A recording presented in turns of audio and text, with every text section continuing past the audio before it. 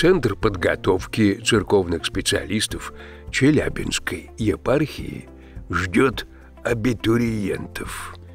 В сентябре за парты сядут новые слушатели, решившие получить квалификацию церковный специалист в сфере приходского просвещения, единого профиля.